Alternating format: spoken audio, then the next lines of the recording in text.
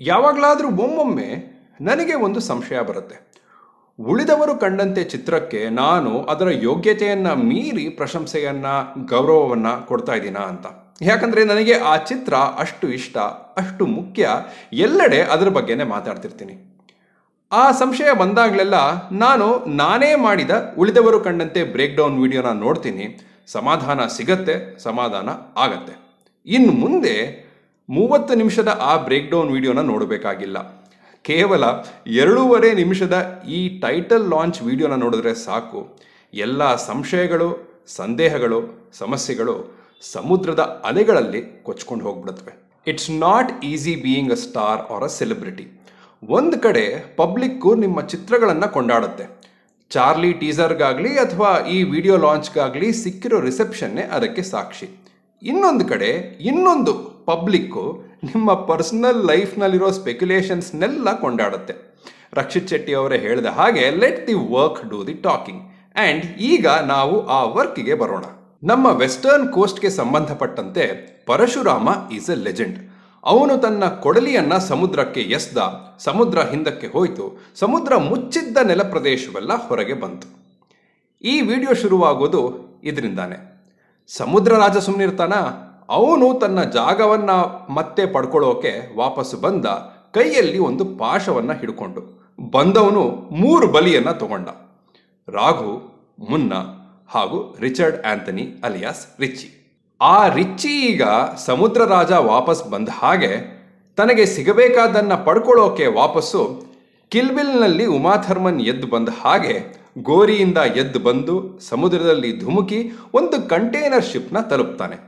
ಇದು ಎಲ್ಲರೂ ಕೇಳಿದ್ದು, ನೋಡಿದ್ದು ಅಂತೆ ಕಂತೆಗಳ ಸುಳ್ಳುಗಳು ಆಗಿರಬಹುದು. ಶನಿದೇವರ ವಾಹನ ಕಾಗೆ ಮತ್ತೆ ಇಲ್ಲಿ ಏನು ಮಾಡ್ತಾ ಇದೆ.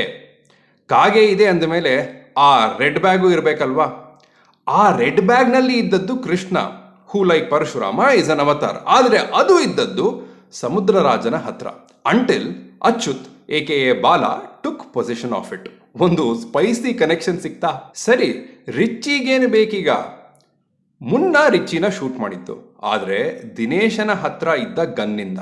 ನಾವು ಆ ರೆಡ್ ಬ್ಯಾಗ್ನ ಕೊನೆಯಲ್ಲಿ ನೋಡಿದ್ದು ದಿನೇಶನ ಹತ್ರ. ರಾಘುನ ರಿಚಿ ಸಾಯಿಸ್ಲಿಲ್ಲ ಅಂತ ಹೇಳಿದ್ದು ದಿನೇಶನೇ. So Richie obviously has some questions for Dinesha. ಇನ್ನೊಂದು ಸ್ಪೈಸಿ ಥಾಟ್ ಹೇಳ. ರಿಚರ್ಡ್ ಆಂಥನಿಯ ಆ ಗೋರಿಕಲ್ಲನ್ನ ದಿನೇಶಾನೇ ನಿರ್ಮಾಣ ಮಾಡಿದ್ರೆ ಅದರಲ್ಲೇ ಒಂದು ಐರನಿ ಇದೆ. Because it reads we will meet once again ಹುಟ್ಟಿದ್ದು ಸಾವಿರದ ಒಂಬೈನೂರ ಅರವತ್ತ್ಮೂರರಲ್ಲಿ ಹನ್ನೆರಡು, ಹದಿಮೂರು ವರ್ಷಕ್ಕೇನೆ ರಾಘುಗಾಗಿ ರಿಮ್ಯಾಂಡ್ ಹೋಮ್ಗೆ ಹೋದ ಅಂದರೆ ಸಾವಿರದ ಒಂಬೈನೂರ ಎಪ್ಪತ್ತೈದು, ಎಪ್ಪತ್ತಾರು. ಎಂಟು ವರ್ಷ ರಿಮ್ಯಾಂಡ್ ಹೋಮ್ನಲ್ಲಿ ಅಂದರೆ ಸಾವಿರದ ಒಂಬೈನೂರ ಎಂಬತ್ನಾಲ್ಕು. ಅದಾದಮೇಲೆ ಶಂಕರ್ ಪೂಜಾರಿಯ ಕೆಳಗೆ ಕೆಲವು ವರ್ಷಗಳು. ಸಾವು ಸಾವಿರದ ಒಂಬೈನೂರ ತೊಂಬತ್ತೊಂದು.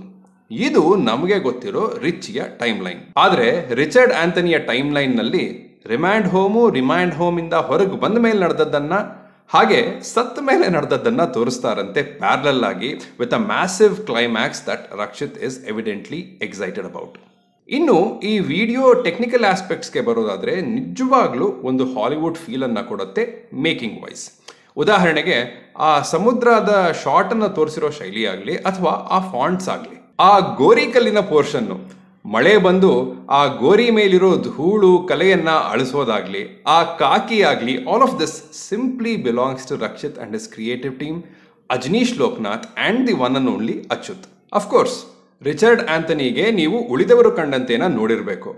ಆದರೆ, ಈ ವಿಡಿಯೋ ಬ್ಯೂಟಿ ಏನು ಅಂದರೆ, ಈ ವಿಡಿಯೋನ ನೀವೊಂದು ಸ್ಟ್ಯಾಂಡ್ ಅಲೋನ್ ವಿಡಿಯೋ ಅಂತ ನೋಡಿದ್ರೂ ಅದ್ಭುತವಾಗಿದೆ.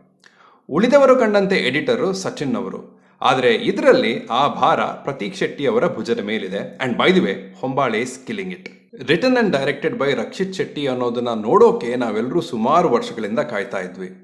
ಉಳಿದವರು ಕಂಡಂತೆನಲ್ಲಿದ್ದ ಒಬ್ಬ ರೈಟರ್ನ ಇನ್ನೊಸೆನ್ಸ್ ಇದರಲ್ಲಿ ಹಾಗೇ ಇರಲಿ ಅಂತ ಆಶಿಸ್ತಾ when the tide brings back the dead the shore bleeds red ಕೊಡ್ಲಿ ಸಮುದ್ರದ ಮೇಲೆ ಬಿತ್ತು ಅಂತಂದರೆ ಅಲೆಗಳ ಬಣ್ಣ ಕೆಂಪಾಗಲೇಬೇಕಲ್ವಾ? Also it's Richie we are talking about here Thank you.